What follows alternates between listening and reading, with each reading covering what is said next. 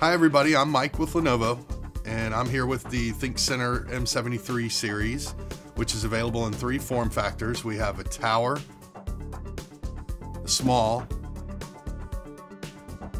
and the tiny. Today we're going to be replacing the optical drive in the tower.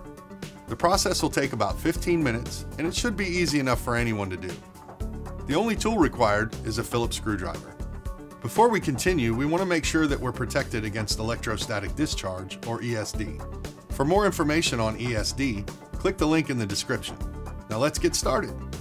To begin with, we want to remove the two thumb screws in the computer cover.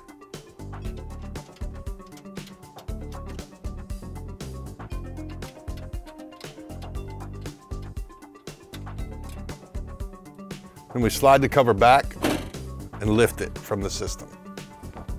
Release the clips on the side of the front bezel, then open the bezel and remove it.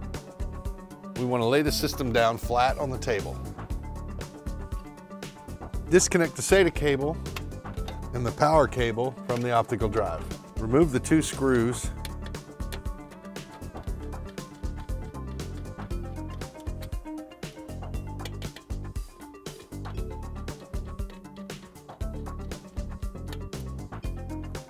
press from the back and slide the optical drive out the front of the system.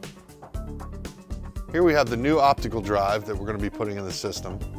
Slide the optical drive in from the front of the system until the screw holes are aligned. Replace the two screws.